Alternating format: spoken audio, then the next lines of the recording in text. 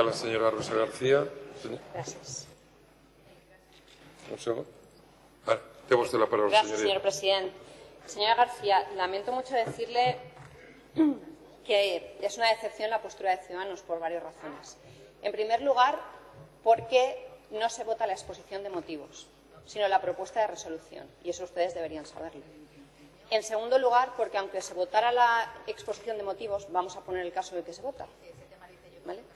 Aunque se votara, la exposición de motivos dice que tras la resolución de las ayudas, lo ha dicho usted, las ayudas, eh, la- las más importantes, la acción comunitaria, se resolvieron las resoluciones de 3 de julio del año 2017 y fue publicada el 7 de julio del año 2017. Tras la resolución de estas ayudas, es fácilmente comprobable que algunas de ellas han pasado a recibir una tercera parte.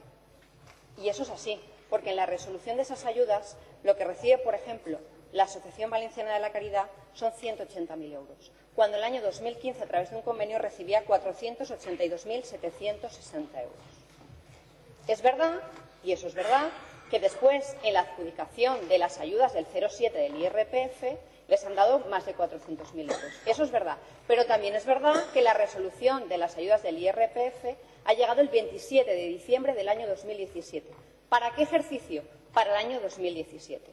Es decir, ¿pretenden ustedes de verdad que la Asociación Valenciana de la Caridad abra todos los días su comedor social recibiendo la ayuda para el 2017, el 20 no recibiéndola, porque al final la van a recibir la recibieron más tarde, las resoluciones del 27 de diciembre del año 2017.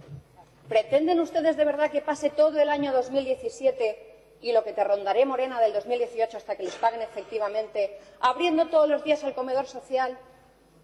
Me van a permitir ustedes que no lo puedan hacer. No lo pueden hacer. Y con una línea nominativa, ¿qué ganamos? Pues ganamos algo muy importante. Y ustedes lo saben. Que es que cuando uno tiene una línea en el presupuesto y una línea nominativa, puede recibir financiación. Señorías, puede recibir financiación. Cuando depende de la resolución de unas ayudas que se resuelven unas en, el, en el julio del año 2017 con 180.000 euros cuando se les daban más de 400.000, concretamente 482.000 en el año 2015, y se tiene que esperar a ver qué pasa con el IRPF, siendo que hemos sido de las últimas comunidades, si no la última, que han adjudicado las ayudas del IRPF del año 2017, y ya veremos cuándo lo cobran, porque si la resuelven el 27 de diciembre tú, ustedes me dirán. Entonces, claro, ¿por qué pedimos esta, esta línea de financiación? No, porque esa gente tiene que abrir todos los días el comedor y tiene que dar de comer a la gente. Y queremos que lo hagan.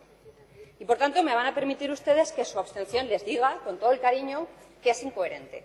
Y que esa, digamos, eh, digamos, incorrección que habían visto ustedes en la exposición de motivos, desde mi punto de vista, no es tal.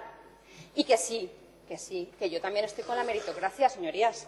Y creo que ustedes también, porque ustedes apoyan un presupuesto que, concretamente, por ejemplo, para el CERMI, presu- eh, tiene una, un, por ejemplo, ustedes apuestan la, en las políticas estatales en materia de bienestar social, cosa que me parece muy bien, y allí hay un convenio de colaboración de 80.000 euros con el Observatorio Estatal de Discapacidad. Otro convenio, por ejemplo, de 60.000 euros y otro con la Administración General del Estado de 17.400. ¿Y ustedes esto no le ven problemas en Madrid? Pero aquí sí que le ven problemas a una línea nominativa. Sinceramente, yo no lo comprendo. Si usted me lo puede explicar mejor, pues yo, mm, la verdad, me gustaría, me gustaría poder entenderlo. Muchas gracias. Moltes gràcies, senyoria. Senyora García.